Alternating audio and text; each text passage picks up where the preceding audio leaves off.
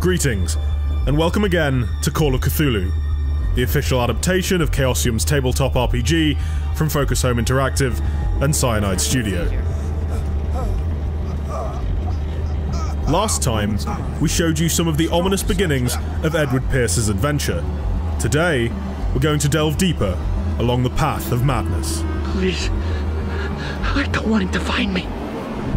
The early stages of the investigation already made it clear that this is no ordinary case. However, as Pierce continues his search for the terrible truth, he will be plunged to the brink of insanity, confronted with horrifying visions, zealous cultists, and perhaps even the old ones themselves. But the earth will resound to your cries.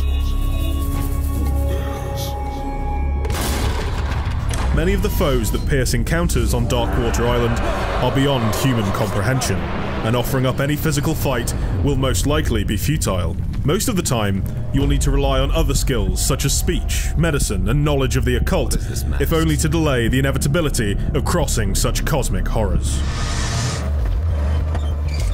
Subterfuge is also an option.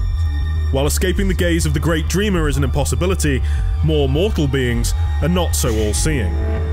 You are gifted indeed. Bring me more sacred into the kingdom of the earth. Stealth will sometimes be the best way to evade a terrible fate, though this is made harder by Pierce's crippling fear of the dark and small spaces.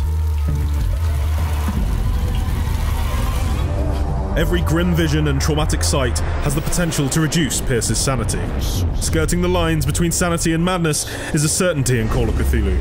As it lessens, Pierce's ability to draw logical conclusions will become less reliable, and his perception of reality will change. The Darkwater investigation will push Pierce beyond his physical and mental limits as he's drawn ever closer to the domain of the Great Dreamer.